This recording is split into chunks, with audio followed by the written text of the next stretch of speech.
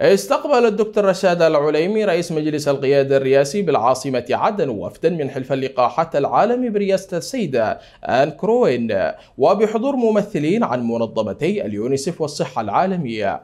وخلال اللقاء أشاد الرئيس العليمي بالدعم المقدم من حلف اللقاحات العالمي وخصوصا في مجال مكافحة الأمراض والأوبئة وتعزيز قدرات المنظومة الصحية اليمنية مثمنا بدور المؤسسات الصحية الوطنية وطواقمها الطبية بمختلف المرافق والمحافظات وجهودها المقدرة في إنقاذ الأرواح رغم الظروف والإمكانيات الصعبة. ووجه الرئيس العليمي الحكومة بتقديم كل أشكال الدعم لإنجاح حملة التحصين الوطنية التي ستنطلق في الثالث والعشرين من سبتمبر الجاري.